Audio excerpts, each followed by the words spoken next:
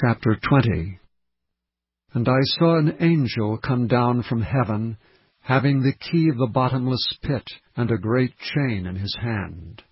And he laid hold on the dragon, that old serpent, which is the devil and Satan, and bound him a thousand years, and cast him into the bottomless pit, and shut him up, and set a seal upon him, that he should deceive the nations no more till the thousand years should be fulfilled and after that he must be loosed a little season.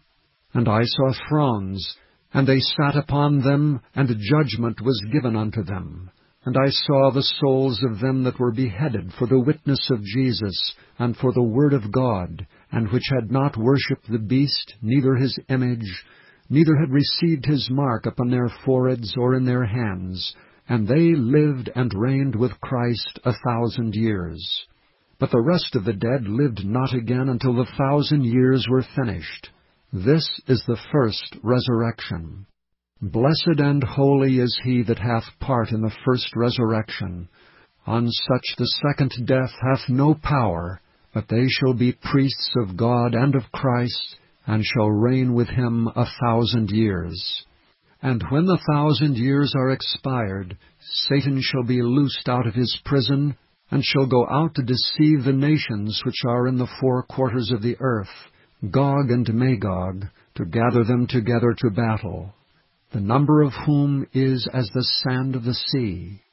And they went up on the breadth of the earth, and compassed the camp of the saints about, and the beloved city. And fire came down from God out of heaven, and devoured them. And the devil that deceived them was cast into the lake of fire and brimstone, where the beast and the false prophet are, and shall be tormented day and night for ever and ever.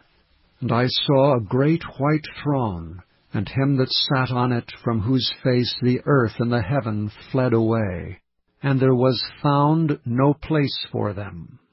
And I saw the dead, small and great, stand before God, and the books were opened.